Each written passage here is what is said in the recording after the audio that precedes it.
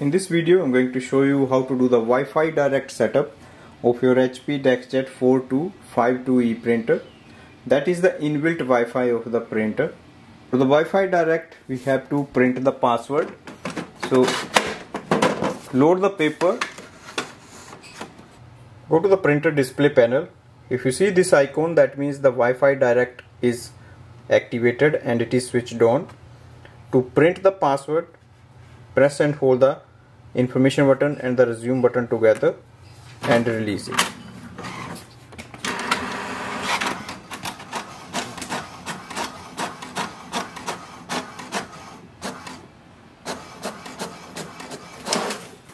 So printer will print the Wi-Fi direct page. It says welcome to Wi-Fi direct. It will display the name of the printer's Wi-Fi and it will give you the Wi-Fi direct password. So this password will be different for each printer. In case you don't see the Wi-Fi direct icon and if you don't see the details here, that means you need to activate the Wi-Fi direct. And to activate it, you have to go to the display panel. Here you have to press and hold the wireless button and resume button for 3 seconds. So wireless button, resume button.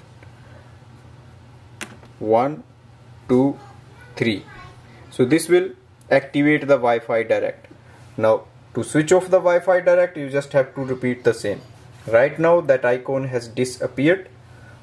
If you press it again for 3 seconds it will come back. That means it is activated. Only then it will print the password. Once you activate the Wi-Fi direct print the password go to your smartphone and open the Wi-Fi setting in the Wi-Fi, wait for the printer. It will display your printer name direct 4200 series HP DeskJet.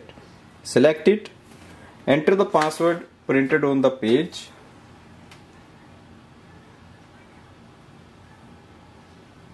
And then click on the join.